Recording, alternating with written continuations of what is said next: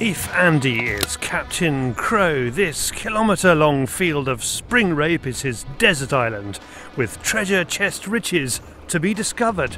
But where? Heading off in the wrong direction could leave him all at sea. Choosing the right flight line could deliver pigeons beyond his wildest dreams, Jim lad.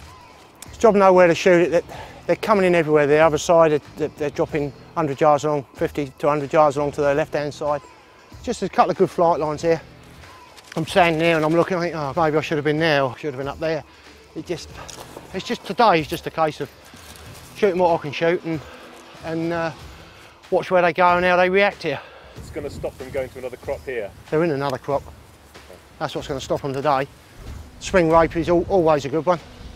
There's not a lot about then, and they like rape anyway. And they're staying this now right the way through, as long as they can, until they get a stubble. He knows it's not the spot, but getting to the spot under the pylon would have damaged more crop than we would be preserving, and we should never forget the reason we're here is crop protection. That's right, Long John, the black spot. There's the flowering hearts coming up, one, two, three, four, and as you can see, they're eating off. Same on this one here, look, one, two, three. You've got four on this one, they've eaten the hearts out, and that's what they do, even on that one. Does that uh, kill the plant? Well, just that's the flowering head. That's that's the stalk. If the flowering stalk isn't there, the pigeons have eaten it and the flowering stalk's not there. It's, it's not going to produce. So, right, cut. See if we can get some pigeons.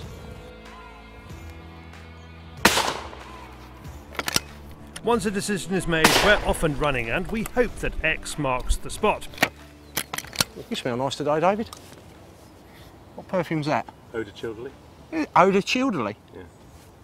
Splash it all over. Oh. There's definitely something going on between you and Paul. You said that about me and Kai, and me and Roy. Yeah, well, I've, Roy's getting too old. You've gone for a younger man. You've gone for a younger I think, man. I think Roy's younger than Paul. Yeah, he doesn't look it though, does he? I think Roy looks looks a young, baby-faced Young, baby face pensioner, yeah. pensioner. I said there. Oh, I thought you said pensioner. Another thing we shouldn't forget is the importance of a dog to retrieve on a day like today. Rosa's nose is a must. We can't be losing birds. Good girl. Good girl. Here, here, here, here, here.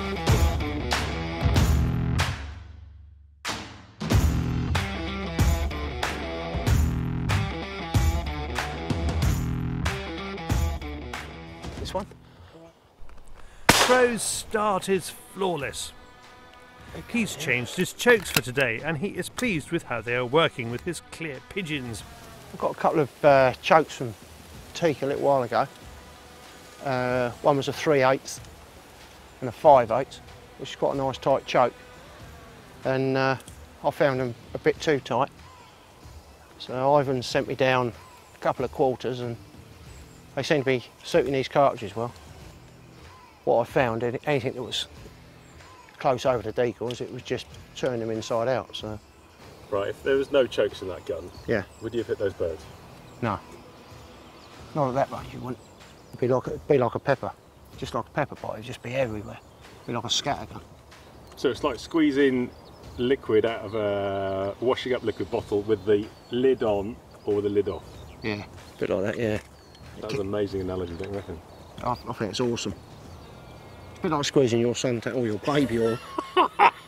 baby oil out of your container. So either that, with the baby oil lid on or without. So it'll with, just sort of yeah, just flow out or come Yeah. out with a bit of a spurt. yeah.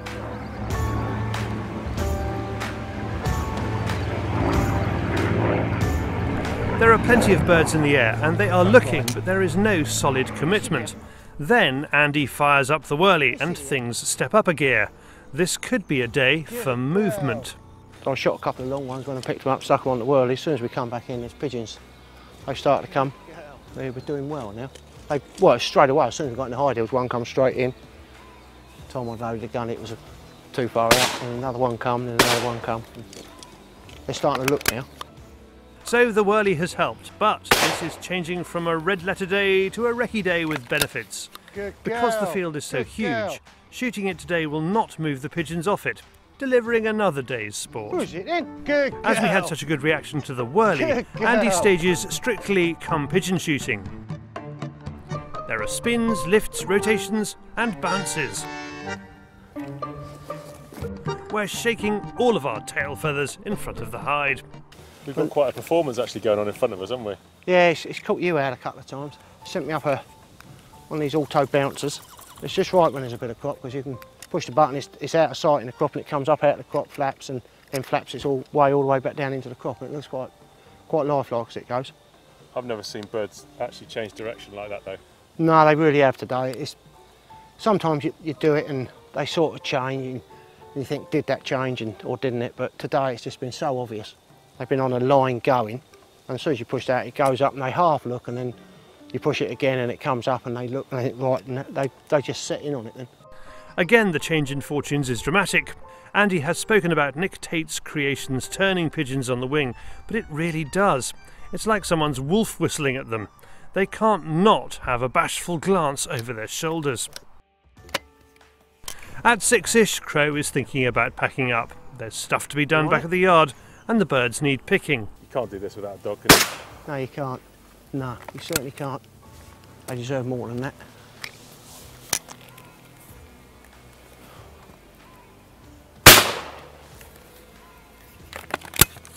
Justin's just turned up. He's going to have a few shots. I've got some droppers behind in the hedge and in the wood behind us, so I'm going to pick those up and uh, he can have a few shots. And then once we've done that, um, I'm coming back again at the weekend and hopefully have another good day.